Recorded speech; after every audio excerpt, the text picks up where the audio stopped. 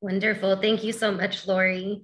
Um, thank you all for being here and taking time to learn a little bit about our program and our training over here. Um, I hope this will be useful and hopefully a little interactive more towards the end. I do want to introduce my colleague here. I have Maria with me. Sorry, we had some technical issues, so we'll be joining together and trying to share the screen. But Maria is my colleague. She is a past student and graduate of our training program. And she is also currently our CNC training co-instructor. So she will be speaking a little bit about her experience with the training and, and offering some of her own insight as well. So I will go ahead, I'm going to share my screen with you all. Just one moment.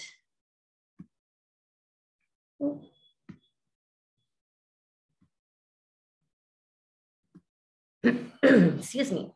Okay, so to start, um, I would like to give a little bit of context into human made as a whole to give a little bit of physical and relational perspective um, as we discuss the training of what that actually looks like here on site. So we will start with just an introduction. Um, so Human Made is San Francisco's first advanced manufacturing training center. We do have the most extensive and open access design, fabrication, and prototyping facilities here on site.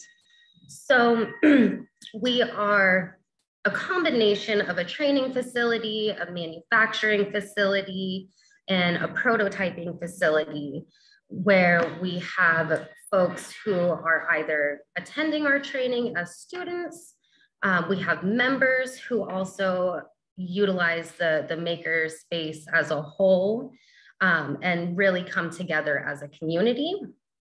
Across both, so within Human Made as a whole and the training, our mission is really to empower our community and help uplift our community to engage in the manufacturing sector.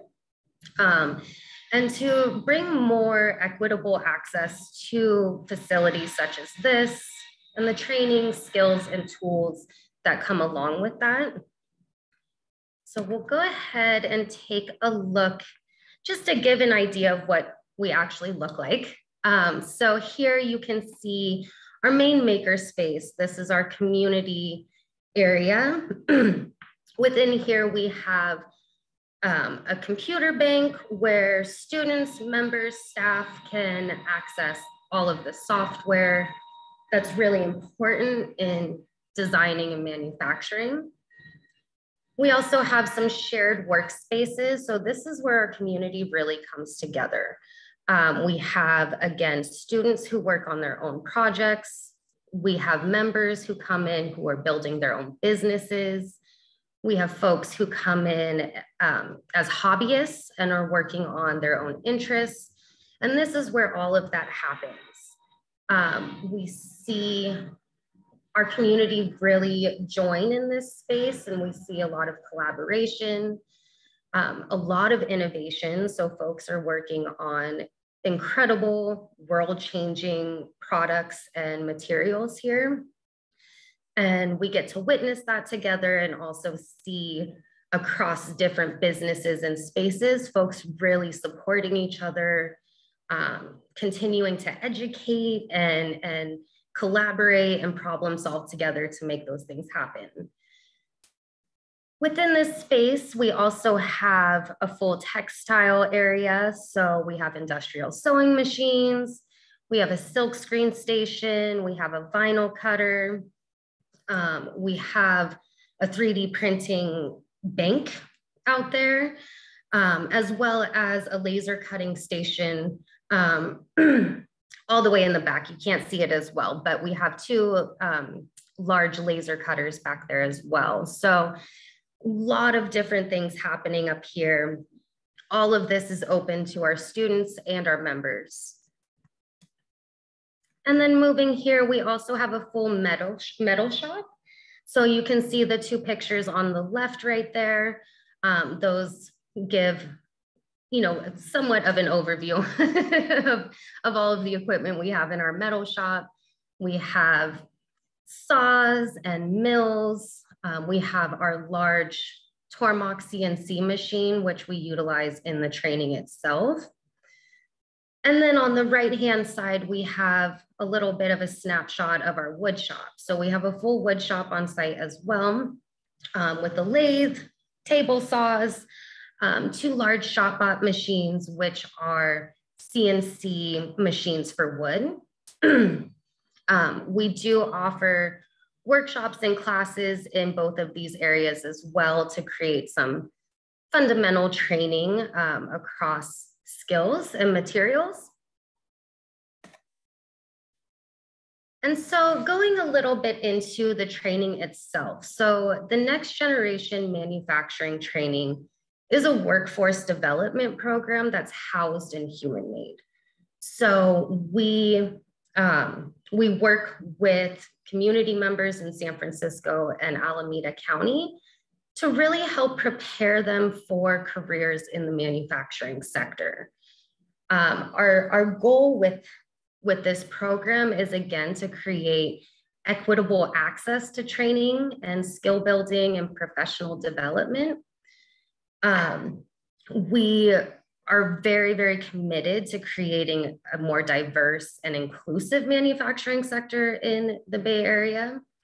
Um, so this training is specifically designed to do that and to equip individuals who have no experience um, at all in manufacturing with the skills that are going to set them up for success in entry level positions in the manufacturing sector. So as far as eligibility for our training, the main requirements are 18 years and older. So we currently cannot accept um, adolescents or, or children into the program, though we hope to expand that shortly in the future. um, we also accept students who are residents of San Francisco and Alameda counties. Again, really hoping to expand that in the future, but we're just not quite there yet. Um, and then all of our students are low income to extremely low income. As a workforce development program, we are geared towards helping folks become more financially um, independent and have sustainable careers. So our students overall, aside from that criteria, really represent our communities. Um, we have a very diverse um, population of students and graduates across many different lines.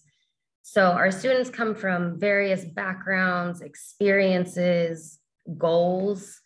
Um, I think currently about 73% uh, of our students identify as BIPOC, 30% uh, identify as female, 9% uh, identify as gender non-binary.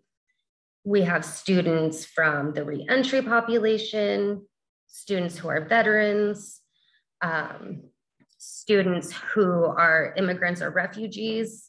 So we really are committed to serving the actual community that we exist within. So the training itself, just logistically, is it's a three month training, so 12 week sessions.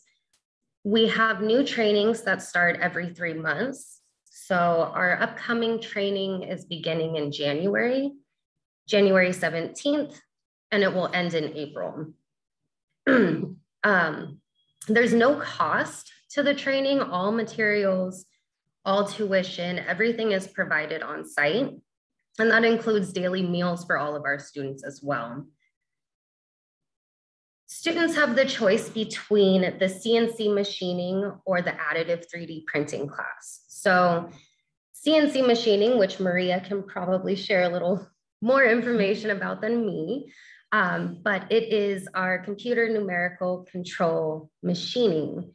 So we do CNC machining with metal a lot of our product is done with aluminum and students will learn how to operate operate the computer software required to um, transfer the design to the actual CNC machine to create a final product. Do you have anything you want to add to that? uh, yeah, that is very true. It's like um, you actually go from concept to um, to something tangible. You are taking a piece of metal, or actually you are learning a bit of CAD where you draw and sketch out the, um, the design that you're going to cut out. Then you're going to learn to CAM, which is you figure out the tool paths in which you're going to cut out the, the metal from because you're, you know, you just can't plow through a piece of metal with, you know, without knowing that kind of um, I guess that instruction. And then finally you you actually machine your part and you come out from a raw piece of material to basically a part. Yes. So that's CNC machining. Thank you. You're welcome. and then with 3D printing, it is very similar actually. So students will learn how to design within the software, troubleshoot within the software, and transfer their design, their vision into a final product with the 3D printing machine. So students get really well-rounded training in the, those skills, as well as troubleshooting, operating, and maintaining the equipment, um, and reading blueprints. So kind of a, a across the board skills required for a lot of the entry level positions that our students obtain. And then finally, we do also support students in taking the Autodesk certification exam. So this is more of an industry recognized certificate that students can receive either in the CNC machining side or the 3D printing side. We primarily support this by offering some preparation throughout the training, study materials, as well as funding the, the exam if students choose to take it and helping with the logistics of scheduling it on site here if necessary or helping students access uh, testing sites. So here I've just included a few examples of our student projects. So all of the projects on this screen are from the CNC machining class and they've all been completed by our students. So you see they've made dice, um, there's a wrench, um, as well as a bucket. Yeah, just yep. the part, like if you were to find in the real world, or if you were to, I guess, go into um, working as a machinist, you know, you would make parts. This doesn't, it's not actually a real part for something, but it's something like it. And then here you can see some examples of the student projects from the 3D printing class. So we've, you know, we try to keep the skills really diverse. So from making parts that have moving pieces and that need to be really well fitting to parts that are aesthetically uh, pleasing and, and um, accurate. Mm -hmm. And so for me, my side or role in, in this training program is as the client support and outreach coordinator. So the, the next generation manufacturing training really takes a holistic and individualized approach to promoting career success. We recognize that there's much more to obtaining employment than just the hard skills as well as there are a lot of challenges or uh, systemic barriers that present themselves in different ways for folks as they're pursuing a career. So my job is to work with students on that end.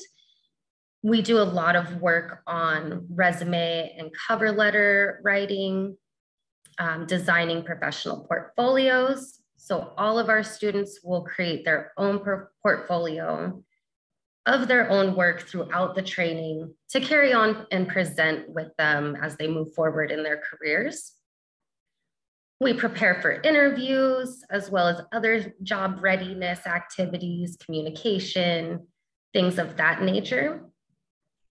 And then ongoing barrier mitigation and case management. So I meet with each student regularly, usually weekly, to discuss things that may be coming up outside of the training or within life that either are challenging or creating some strain in attending the training or just um, hindering student well-being. So case management can range from housing resources to financial resources, obtaining medications or mental health support, um, or accessing childcare. And then following the completion of the training, students will receive employment placement assistance. So we help to keep students updated regularly with employment opportunities in the community and help them to complete the application process as well as advocate for them with employers. We also continue to follow up with our students for a full year after they graduate. So even if a student has obtained employment, we'll continue to check in, make sure that they have all of the support that they need to continue to be successful, to continue to feel um, satisfied in their employment and, and make sure that we're a part of that process with them. So here are a few examples of some of the companies, excuse me, that have hired our students. So you can see, you know, a, a diverse set of companies here. We have um, Human Made, I believe, is up there. So we've hired a few of our own students to carry on with education and instruction. Um, we have some students with CocoTaps, for example, who have created a sustainable way to uh, consume coconut water with less package, packaging um, that's much more ecologically friendly. So changing, changing expectations around um, product packaging. Um, we have students with Swope Design Solutions who do amazing work with uh, consumer and client specific products. So they work on a very wide variety of products depending on the demand of, of their clients. So those are a few there. We also have a student recently who's started working for Doer Marine. And this is a company who is doing deep marine or creating products for deep marine exploration and research and monitoring. So they work on robotics and monitoring devices to continue exploring all of the potential in our marine life. And with that, I will pass it over to Maria for just a moment to go ahead and just share a little bit about her experience with the training, um, anything that, you know, she she's felt either during the training or since completing the training. Um, so yes, I will hand it over to you, Maria. Hello. Oh my gosh, that was a surprise. I just didn't know about this this slide. Um, but anyway, I guess uh, just a little bit about me and there's probably a little bit. Um, I came here and took the class because actually because of a career change, you know, I, it was unfortunate that I was laid off from my job of being there for a very, very long time, which I had loved, um, but they had relocated down to LA. Um, and then I found this program. Um, even I was in this program, I started in September of 2009, 2019, I believe. And even within the past two years, it has really developed. Um, what the students are learning now, which I was in the CNC cohort uh, for the machining, is uh, I learned a little bit of CAD, I learned a little bit of CAM, I did some machining, and now I see as being a co-teacher, um, which is very interesting, is like learning actually the fundamentals of being a CNC machinist or to be in a mach- in the machinist industry. So uh, they get to learn how to do things like tramming the vise, making sure it's straight, um, even edge finding, making sure like your coordinates of where you're going to um, where your part is going to start to cut and all that kind of stuff, where that, um, those are just like fundamental things that machinists should know where I didn't know at first, and now I'm I too am still learning.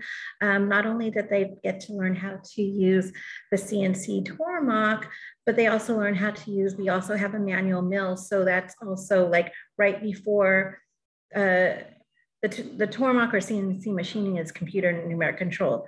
Manual mills are the same thing, but um, it's prior to that kind of computer technology. It's more the way, if you look at the picture, that's a manual mill. And the way that it is controlled is like an etch a sketch. So you're you're actually turning the, lev the levers, one for X, one for Y, and one for Z. And, um, and also learning um, how to use the metal shop um, just like handles in general, and just for them, uh, for students to get comfortable in. And um, even with that, um, there is also, as um, Amber had mentioned, there's a wood shop, there's laser cutters, there's 3D printers, um, there's an industrial, like industrial sewing. So um, the students do have access to that as well, um, which is kind of a nice thing to be able to, you know, be in this kind of space where there are creatives. Um, so it's, yeah, it's really like, it's a very positive experience. And like, I was lucky enough, or, you know, like I said, the stars had aligned that not only am like, I was able to like discover this place and take the training, but also um, to be able to have the opportunity to work here. And now again, um, assisting with the CNC students, which is like, I've never thought about it before, but it's so like, um, it's so, it's, it's refreshing and it's like, um, it's, oh, I don't know what the word is, but it's always very at the tip of my tongue that it's like, I feel a lot of, um, I can't think of it right now, but sorry about that. But, um, but yeah, gratifying, you know, and it's just great to help people. Okay, and that's it.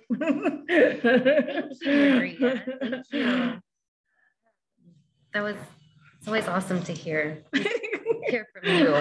So one thing actually, and I'm really grateful that you brought this up again, Maria, that I realized I skipped over but part of continuing to promote the success of our students and to really continue their career development and upskilling is that all of our students once they graduate they receive a full year membership with the the makerspace as a whole and that includes access to free workshops. So if students take the cnc class and they you know would like to learn more about woodworking to diversify their skill set they have access to those workshops and that support um, continuing on after their graduation as well.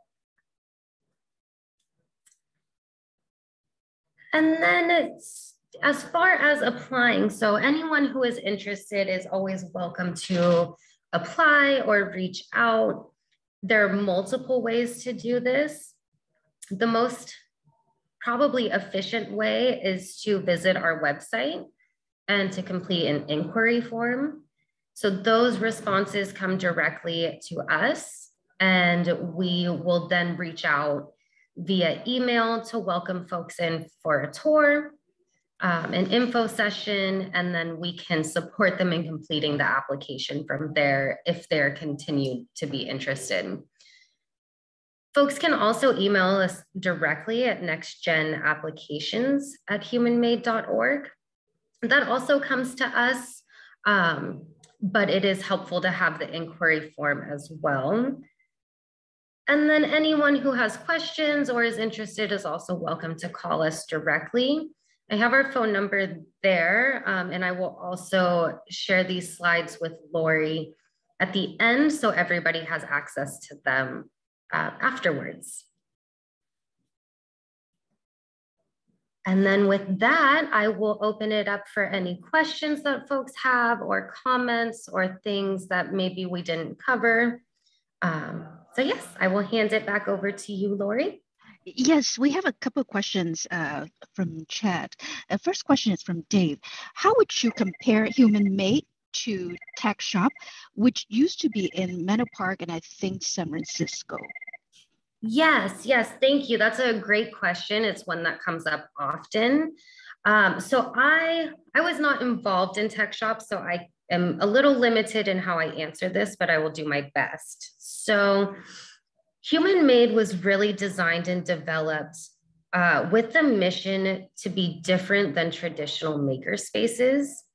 So there was a historical model that maker spaces were built upon um, that's that served um, members. They served members and they they they sorry, I'm trying to think about how to best answer this question. Um, this historically were created to provide certain types of training and spaces and were built upon community um, and collaboration, but weren't always accessible to all folks. Mm-hmm. Um, Human Made was really designed to take the best part of that and to spread it out and bring in this additional piece of training and equity and access. Um, so it, it has some pieces of traditional maker spaces with the addition of building upon reaching our community, being an active member in our community, and really bolstering the economic um, sustainability within our communities here. So I hope that that answered your question. Thank you, Amber. Um, question from Linda. Uh, how how do you compare how do you compare to the junior college programs? Yes. So we that's a it's a little bit of a challenging uh, question. So it depends on the track that the student is on. So the classes themselves that folks can take to learn, you know, a skill or an area we are similar in a lot of regards with more focus on the hands-on training as well as the soft skill development and barrier mitigation. So we bring in a little bit more of a holistic aspect to rapid training. If a student were on the path to a certification or a um, degree in a certain type of design or manufacturing, we are again similar, but on a fast track. So we're focused on intensive wraparound training to get people set up for entry into the manufacturing sector quickly. Okay, thank you so much, Amber. Question from Margaret. How many days um, each week do students need to uh, come for the training?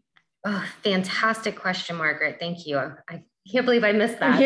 yes. So our training is Monday to Friday. We have the CNC and 3D printing run side by side. So we have the CNC machining class Monday to Friday, 10 a.m. to 3.30 p.m. So it's about four and a half hours every day. Um, and then we have the 3D printing again, Monday to Friday from 5 p.m. to 9.30 p.m. Great, thank you so much. Um, another question from Dave. Who provides funding for Human Made to offer this training free to students? Yes, so we are a nonprofit workforce development agency. So our funding comes from a variety of sources. Um, that would be through grants, um, through the community here.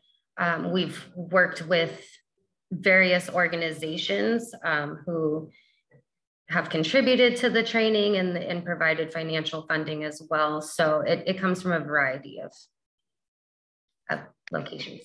Thank you. Which of the employers you mentioned have hired students who completed your um, additive 3D printing training program? Yes, so a few of them, and I'll actually, I'll go back to that slide just to see. Um, so we've had a few of them. We've had Swope Design Solutions has hired for um, 3D printing, I believe CocoTaps as well.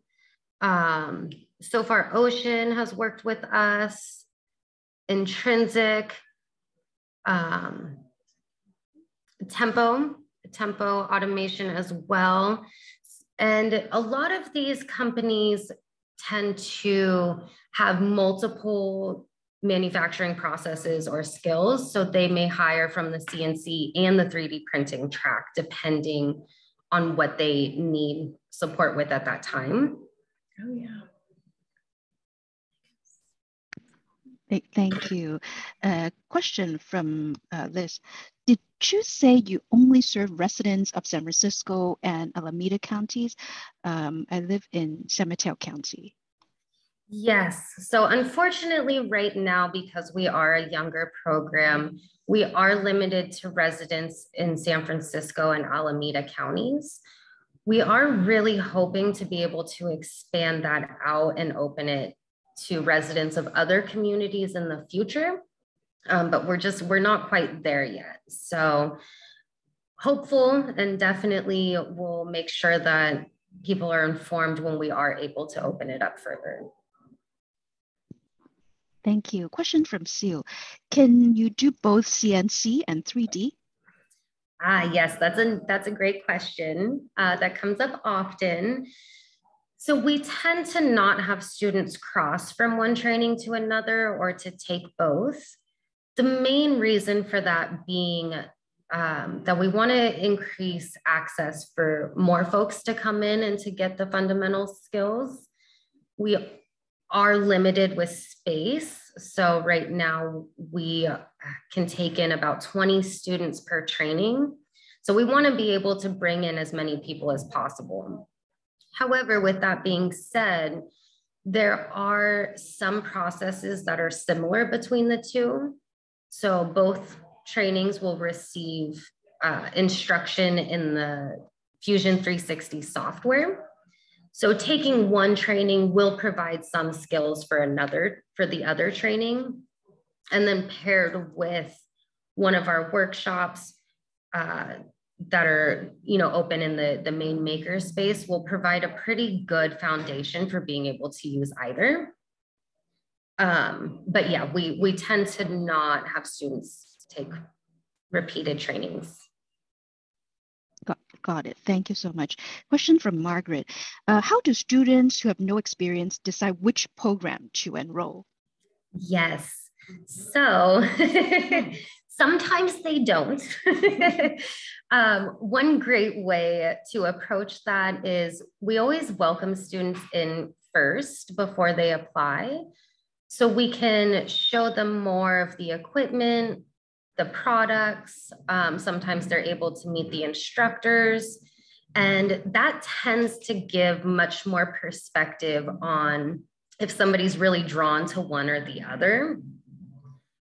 With that being said, there are times that we have students who are interested in either one, and that's totally okay. And we will work to get them in where space is most available. um, and we do try to get students into the training that if they are drawn to one or the other, we try to get them into that one. But again, there are times that students aren't really sure, and that's okay. Okay, thank you so much, Amber. Um, that's all the question I see in chat.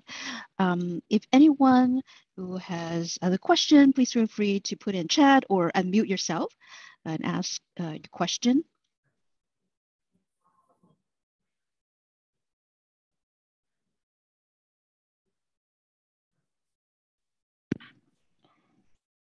And if we don't have uh, more question, then I um, like to thank um, um, my guests, uh, Amber and Maria. Thank you so much for taking the time to, oh, I have a, I have a question from Dave. How many students have gone through the program? More question, yes.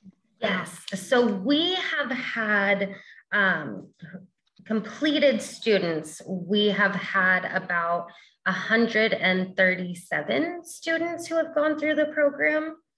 Um, and then with that, we have about 69% have been employed and 49% in the manufacturing sector. Okay, great. Um, I'm, I'm sorry, uh, Linda, uh, you should be able to unmute now. I accidentally uh, unchecked that box. Uh, Linda, you can go ahead and ask your question. Okay, thank you. No, I was just, um, because I do have a factory and I'm trying to figure out how to hire some of these, but we look, we're looking for maintenance technicians.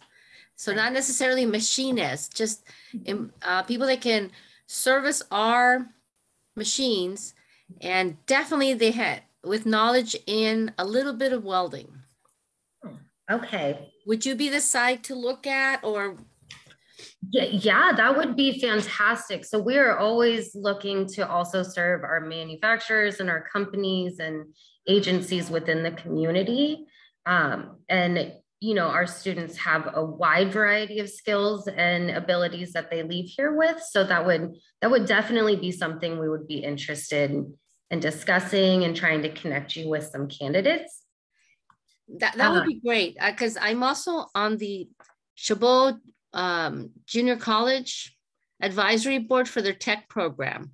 Oh, and, and that's what the one of the things that we're always looking for the the soft skills in yeah. uh, with employees, and also a little bit of welding and the equipment. Fantastic. Yeah. Yes, Linda. Let's um let's try to connect. Um, I will. I'm going to put my direct email in the chat as well for everyone. so that if you have questions that come up after, you can also reach out to me directly. And then um, Linda, yes, let's let's try to connect afterwards. Okay, we'll do. Thank you. Thank you. Any more questions for Amber and Maria?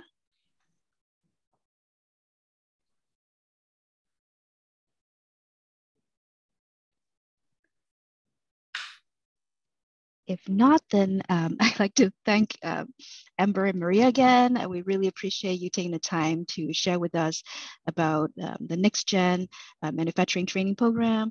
Um, I also want to thank everyone for joining. I hope you find the presentation informative and helpful to you. I will send out an evaluation survey together with Amber's slide deck, uh, link to um, the recording, uh, also um, including the, the chat questions uh, later this afternoon. Uh, please give us your feedback so we can continue to improve. Um, again, thank you everyone and have a wonderful rest of your day. Yes. Bye bye now. Thank you very much. Thank you. Thank you.